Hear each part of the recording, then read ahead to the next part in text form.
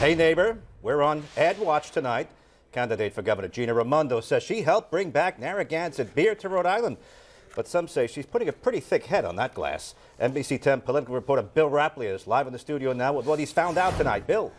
Well, Gene, she sure did pick a favorite brand. It kind of reminds me of when Murph York made a bid to buy Newport Creamery. But Raimondo's claim is that she helped the new owners revive the revered brand. Remember what Narragansett beer used to mean to Rhode Island? She picked a popular Rhode Island brand for this one, popular and reminiscent of the good old days when the state was still a manufacturing powerhouse and unemployment was not everyone's biggest concern. It's definitely an upbeat ad. This is a comeback story. Uh, she she helped turn around Narragansett beer. She wants to turn around Rhode Island, and that's what we need right now. We need a comeback, right? Rhode Island needs a comeback. But is what she claims true? It appears to be. Her former investment firm, Point Judith Capital, certainly helped out numerous companies, which reportedly add up to a thousand jobs.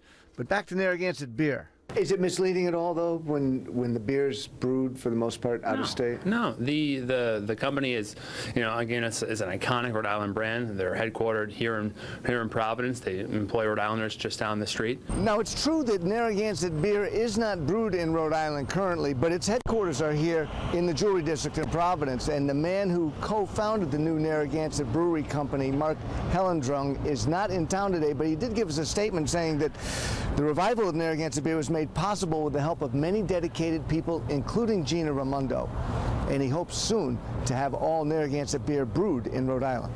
So Gina's not brewing beer, and Narragansett Brewery doesn't employ a thousand workers. But the ad doesn't say that, and the claims it does make add up. I'm Gina Raimondo.